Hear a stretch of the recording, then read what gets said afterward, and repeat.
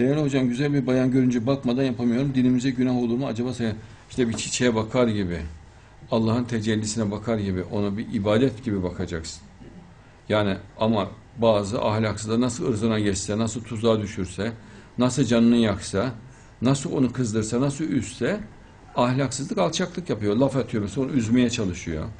Yahut vücudun e, da bir, bir şekilde e, canını yakacak küçük de olsa bir teması önemli görüyor. Ya onun canı yandığında da heyecanlanıyor, seviniyor. Mesela hakaret edince hoşuna gidiyor. Pis laflar ediyor. Yani bu sevginin bunun alakası yok. Bu kıskançlıklar, o güzelliğe ulaşamamanın verdiği kinden kaynaklanan nefret dolu sözler. Ama hürmet ediyorsa, saygı duyuyorsa, hayranlık duyuyorsa, mesela Avrupa'da öyledir. Hanımlar, daha önce de söylemiştim, mesela arabadan iniyor, sırt dekoltesi ta neredeyse kalçasına kadar. Derin göğüs dekoltesi var, mini etekli giymiş. Mesela uzun kıyafet de giyiyor bazen ama yırtmaçlı. Elinden tutup çok nezaketle arabadan indiriyorlar.